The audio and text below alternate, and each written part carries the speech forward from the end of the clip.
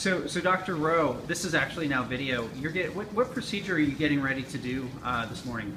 Uh, I have a patient uh, who recently had a non-ST elevation myocardial infarction involving his right coronary artery, and he has functional ischemic mitral regurgitation as well as uh, significant coronary disease affecting all three of his major coronary arteries. His ejection fraction is about 30%. He has pulmonary hypertension. His pulmonary pressures are about half systemic. And he needs uh, a mitral valve repair, probably an annuloplasty ring, and uh, probably three or four coronary bypasses, an internal mammary to his LAD, and then a couple of circumflex grafts and maybe a right.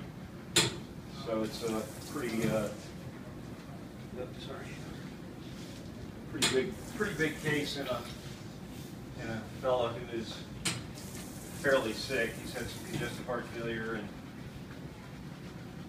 his uh, ejection fraction is depressed from normal, so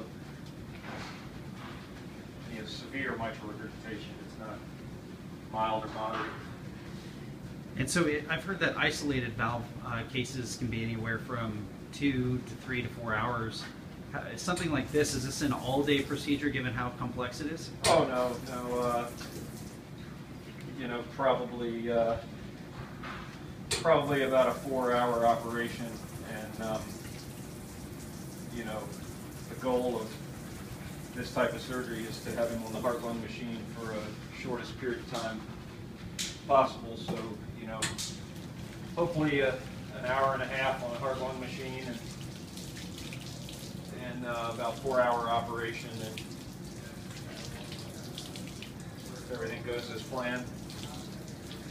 Now, a quick question. I've noticed that the, amount of time that you spend scrubbing is, is significant. It's not like just you're washing your hands, you know, after dinner. Why, in terms of why you scrub for so long, what is what's the benefit of that to the to the safety of the procedure?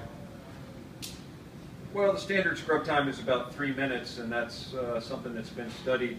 Uh, and it's the primary goal is to just increase the amount of time that you have antibacterial soap on your skin, and to try to eliminate. You, you can never completely eliminate, but try to markedly reduce the chances of having any bacteria on your skin or fingernails or hands. You know, we wear gloves. I double glove for every surgical procedure, but uh, it's invariable that uh, during the course of an operation you could have a micro perforation in a glove. Um, so it's just standard sterile technique to scrub. Uh, you know, three minutes is about average. I probably scrub a little more than that. I probably scrub and rinse and more soap and scrub and rinse. And, um, you know, it's all about trying to reduce the chances of the patient getting an infection.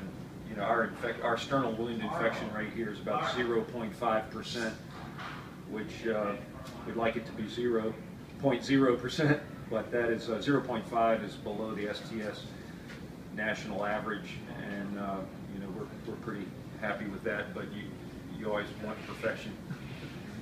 Great. Thanks so much. All right.